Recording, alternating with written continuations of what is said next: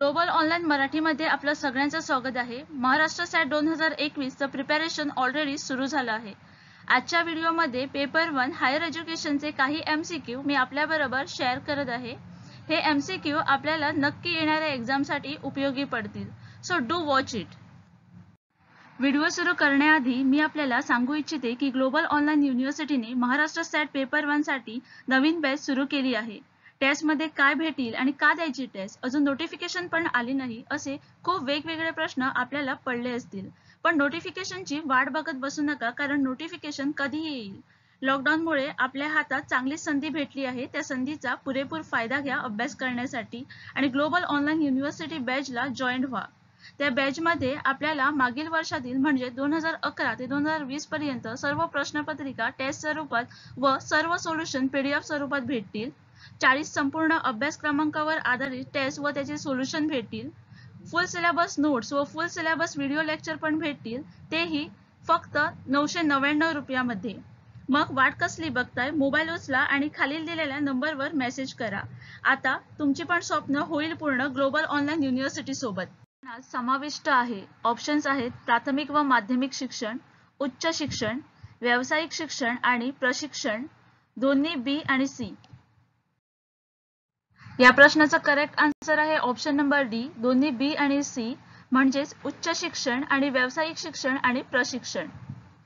तृतीय स्तरीय शिक्षण तसेच तृतीय स्तर म्हणून संबोधले जाते. तृतीय चरण किंवा माध्यमिक नंतरचे शिक्षण आहे. युनेस्कोने सांगितले की तृतीय शिक्षण वैशिष्ट्य म्हणजे प्रयत्न शिकवण्यावर भर देते. यात शैक्षणिक आणि उच्च व्यावसायिक शिक्षणाचा समावेश आहे. खालीलपैकी कोणते उच्च शिक्षणाचे नियामक आहेत? ऑप्शन्स आहेत NCERT A I C T E UGC M H R D या प्रश्नाचा करेक्ट आन्सर आहे युजीसी विद्यापीठाच्या अनुदान आयोगाने स्थापन केलेल्या पंधरा स्वायत्त संस्थाद्वारे उच्च शिक्षणासाठी मान्यता प्राप्त केली जाते. चार स्तभ्य शिक्षणाची कल्पना सुचवली. ऑप्शन्स आहेत युनिस्केप युजीसी एनसीटीई युनिस्को. या प्रश्नाचा करेक्ट आन्सर आहे युनेस्को. एकवीस शतकातील शिक्षण आयोगाने युनेस्कोला दिलेल्या अहवालात असे नमूद केले आहे की शिक्षणामध्ये चार मुख्य आयाम चार स्तंभ समाविष्ट असले पाहिजेत. जाणून घेणे कारणे शिकवणे एकत्र राहणे शिकवणे असणे शिकवणे. मध्ये नोंदवणी वाढवण्याच्या योजनेचे नाव उच्च शिक्षण संस्था आहे. ऑप्शन्स आहेत राष्ट्रीय उच्चस्तर शिक्षा अभियान सर्व शिक्षा अभियान दोन्ही अ आणि ब वरीलपैकी कोणतेही नाही. या प्रश्नाचे करेक्ट आन्सर आहे राष्ट्रीय उच्चस्तर शिक्षा अभियान रुसा. राष्ट्रीय उच्चस्तर शिक्षा अभियान ही भारत सरकारच्या मानव संसाधन विकास मंत्रालयाने दोन हजार तेरा मध्ये सुरू केलेल्या उच्च शिक्षणाच्या विकासाची एक समग्र योजना आहे. पुढीलपैकी कोणत्या एजन्सीने ते पुढे केले संस्क्रिय विद्यापीठाची संकल्पना? ऑप्शन्स आहेत U N D P UNESCO A I C T E U G C. या प्रश्नाचा करेक्ट आन्सर आहे ऑप्शन नंबर बी युनिस्को. कार्यक्षमता किंवा कृतीशील वर्तन स्वयं आरंभिक वर्तनाला सूचित करते जे समस्या येण्यापूर्वी निराकरण करण्याचा प्रयत्न करते. भारताच्या डेस्टिनीला तिच्या वर्गात आकार देण्यात येत आहे असे कुठे सांगितले आहे? ऑप्शन्स आहेत शिक्षणावरील राष्ट्रीय धोरण राष्ट्रीय ज्ञान आयोग शिक्षण आयोग विद्यापीठ शिक्षण आयोग. या प्रश्नाचं करेक्ट आन्सर आहे ऑप्शन नंबर सी शिक्षण आयोग एकोणीसशे चौसष्ट ते एकोणीसशे सासष्ट एखाद्या देशाचे भाग्य त्याच्या वर्गात बनवले जाते. कोठारी कमिशन म्हणून ओळखल्या जाणाऱ्या एकोणीसशे चौसष्ट ते एकोणीसशे सासष्टच्या भारतीय शिक्षण आयोगाने असे सांगितले होते की आमच्या देशाच्या नशिबी आपल्या वर्गात आकार घेतला जातो. चिअर म्हणजे ऑप्शन्स आहेत. रेडिओद्वारे मुले संवर्धन शिक्षण बाल आरोग्य शिक्षण इलेक्ट्रॉनिक रेकॉर्डिंग अभियंते व ऊर्जा आवश्यकतेसाठी मुले वरीलपैकी कोणतेही नाही. या प्रश्नाचा करेक्ट आन्सर आहे ऑप्शन नंबर ए रेडिओद्वारे मुले संवर्धन शिक्षण.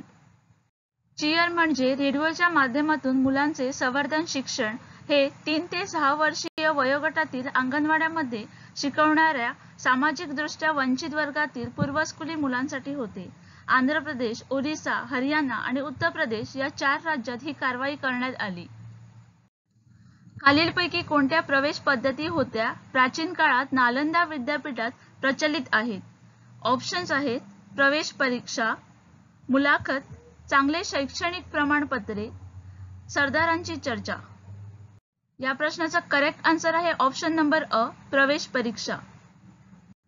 प्राचीन काळी नालंदा विद्यापीठात विद्यार्थ्यांचे प्रवेश कठीण होते. प्रवेश परीक्षा घेऊन इच्छिकणाऱ्या विद्यार्थ्यांकडून प्रवेश परीक्षा दिली होती. परीक्षेत यशस्वी झालेल्या विद्यार्थ्यांचा विद्यापीठात प्रवेश करण्याचा अधिकार होता.